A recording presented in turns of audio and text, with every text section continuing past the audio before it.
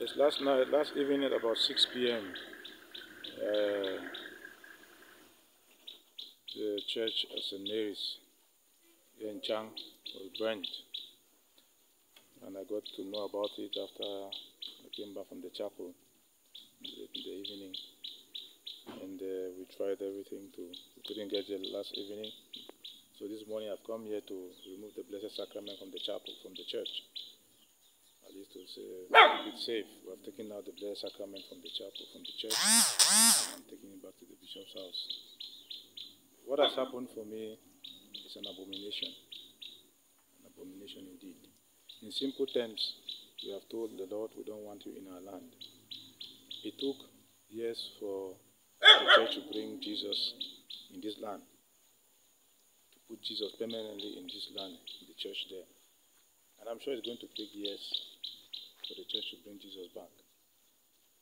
All I'm asking for now is that we should pray for the release of our brother priests, five of them, the religious, and two members of Christly Faithful who were abducted last night for reasons best known to the people, those, those who took them away.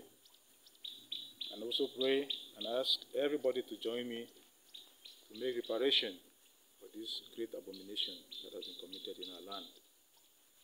I think, summarily, I can say we have not been satisfied trying the patience of men.